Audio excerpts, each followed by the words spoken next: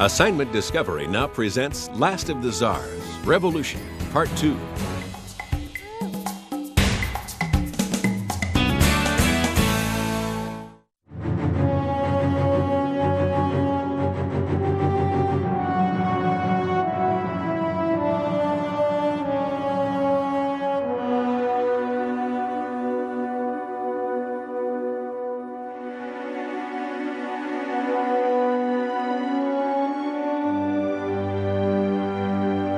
15th of March. For the sake of Russia, I decided to take this step.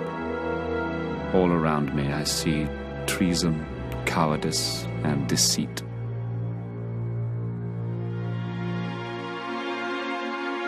Alexandra had no way of knowing that her husband had lost the throne. My own beloved, precious angel, light of my life. My heart breaks thinking of you all alone, going through all this anguish, anxiety, and we know nothing of you, nor you of us. To protect his invalid son, Alexei, Nicholas had insisted on abdicating in favor of his brother, Grand Duke Michael. The soldiers gathered and questioned them about how the Tsar had abdicated his throne. I abdicate in favor of Grand Duke Michael. Why not Alexei? No, he said, my son is ill. I'm not going to give him up. We will go to the Crimea and grow flowers.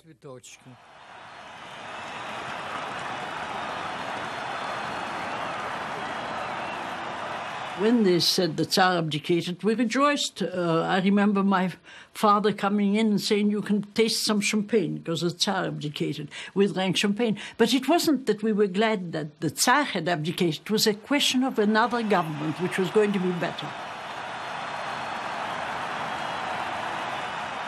I remember people came out onto the streets and were kissing each other, hugging each other.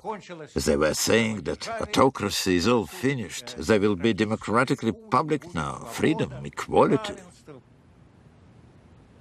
My grandfather, when he heard that the Tsar abdicated not only uh, for himself but also for his son, Alexis, he became pale like snow and started having tears and even sobbed and said, Well, now Russia is finished. Just like that. No one saw the once imperial family as a priority.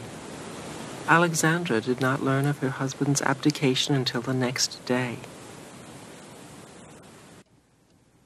In the palace, both water and electricity had been cut off. And not only had her adored Nicky been forced to abdicate, but also his brother Michael had rejected the throne. Now there was no czar at all.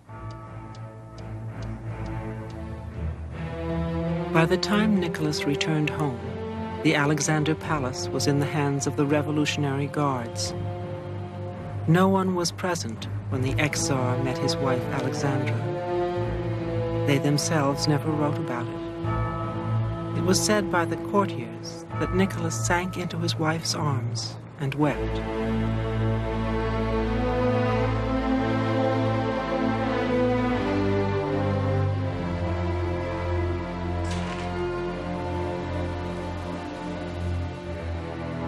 Sometime afterward, Ludmila Krasina and her sisters walked past the palace, which was now patrolled by revolutionary guards. And one of these men, dressed in khaki, he looked like a soldier, was shoveling the snow away from the footpaths. I looked and I thought, this is not a soldier, this is the Tsar himself cleaning the paths of his garden. What is he doing, mademoiselle? I asked. He can't be the Tsar. Ah, yes, she said. You see, he's been deposed. It's the revolution. He's a prisoner in his own palace, and he's not allowed to go out, he is guarded. And he's doing this to get some exercise. What amazed me, I was a little girl then, was that the Tsar was dressed in an old coat, which was all stained. It wasn't even clean. There were no decorations, nor epaulets. Many years have passed. I'm 90 now, but I still remember it. I still remember the Tsar's expression. There was such pain and suffering and tears in his eyes. The family's situation at the Winter Palace was house arrest rather than imprisonment, but it was still a far cry from their previous life.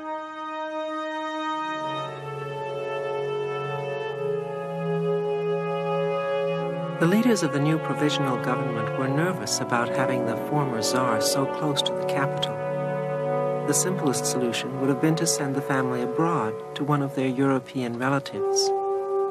But they could hardly go to their cousin the Kaiser, with whom Russia was still at war. So the new government requested and received asylum in Great Britain for the Romanovs.